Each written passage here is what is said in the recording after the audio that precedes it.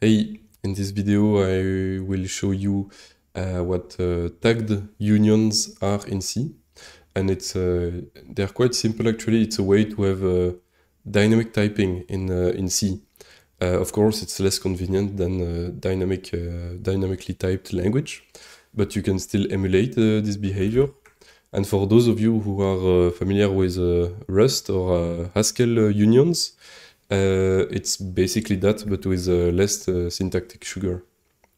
So yeah, and I assume that you know what a, a union and a struct are for, for this tutorial.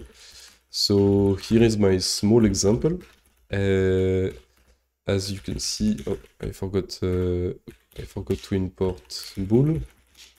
But as you can see, I just have a simple enumeration. That is my tag. And it can be either boolean, int, or float. And then I have a struct that contains uh, a tag and an union of all these types. And so what you're gonna do is do a struct uh, dynamic, uh, let's say D, and then D, uh, then you can set uh, a tag of it to, uh, for example, tag int, and then D, D the value, value is a union, and then you do I is equal to 42, and then uh, how you would handle that in a in a real code base is uh, you have a, a, switch on uh, d tag. Uh, up up and then you have a case tag uh, tag tag uh, bool. Let's may let's put them in order and let's printf uh, bool. Up, up, up, up, up, up, and then you would do d value B, and then up, you handle all the all the tags types, uh, all the tags here, loads, and you can have a different action according to uh, which which kind of tag you have. Uh, so this is I, this is F, and this is F. And you can see that in this example, it will say, uh, ah yes, I forgot that you have to break in C. App, up and you can see here that uh, I, I, have an extra this for no reason. Uh, but you can see that uh, it uh, it identified that uh, it's uh, it's an integer that is 42 and if you want to, to switch the, the type the type you can do tag for example float and do 42.42 like this and oh, uh, yes, of course, you have to put f here, and it will be uh, a float, interpreted as a float.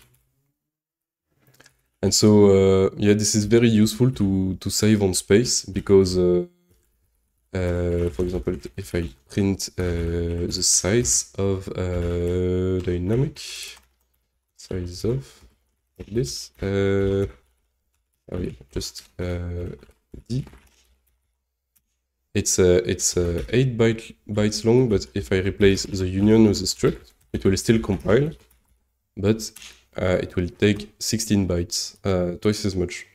So this is very useful uh, if you want to emulate uh, dynamic typing. And then I would like to show you maybe a more real world, I mean, practical, a more practical example. So I have a an LCI project with, which is a lambda calculus uh, interpreter. If you don't know what uh, lambda calculus is, it really doesn't matter. Basically, it's a it's an interpreter like uh, any other language, but uh, if you if you go in expression, I have something to parse uh, expressions and a struct that represents it. Uh, and so I have an expression tag, which can be a function, a var, a list, a statement, or a parsing error and then I have a struct expression that has a tag, and then it has a union, and it has a, a bunch of structs for each uh, tag. So it has a, a, struct containing information about the function, so the param name, the body, uh, it has uh, information about a, variable, a list, and so on and so on and so on.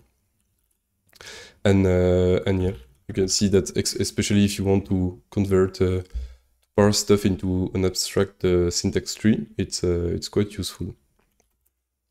And there is one last thing that I would like to show uh, back to a union, is that you can actually remove the, the value here, I think, uh, at least in GCC, uh, if I'm not mistaken. Yes, so it works in GCC. Uh, this is not like the official ISO uh, specification, you cannot do this. But in GCC you can, and it's quite handy if you don't want to type uh, value again and again and again. So yeah, slide shortcut. shortcut. Anyway, that's all. That's it for uh, tagged unions. And, uh, yeah, enjoy. Bye.